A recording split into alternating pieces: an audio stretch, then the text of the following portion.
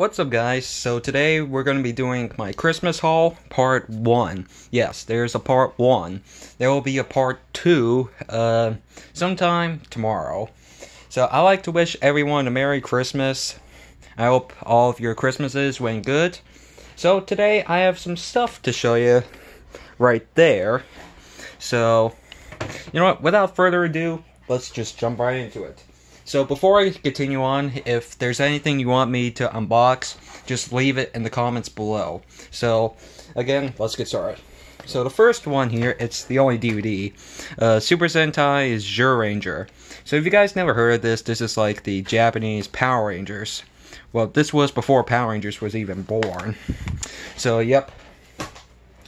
And now on to the Blu-rays. Zombieland Double Tap. Saw this in theaters like a year ago. Really good.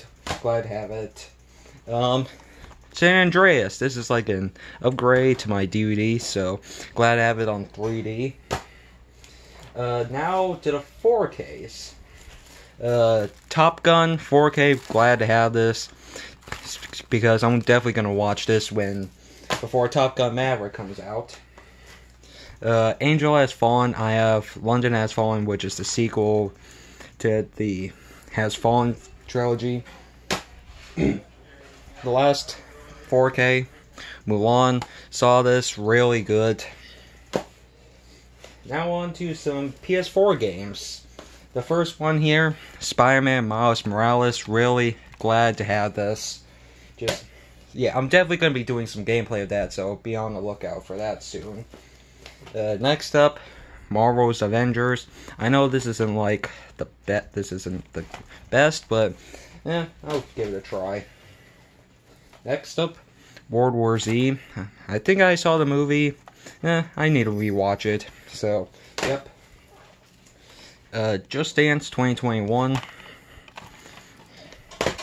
And finally, Predator Hunting Grounds. And then the last one, which is uh, the only vinyl that I have, is the Mandalorian vinyl. This thing is really, really cool. So yeah, if you see anything on here that you wanted to see me unbox, just leave it in the comment section below. So, thank you guys for watching, comment, like, subscribe, and I'll see you guys tomorrow. Bye.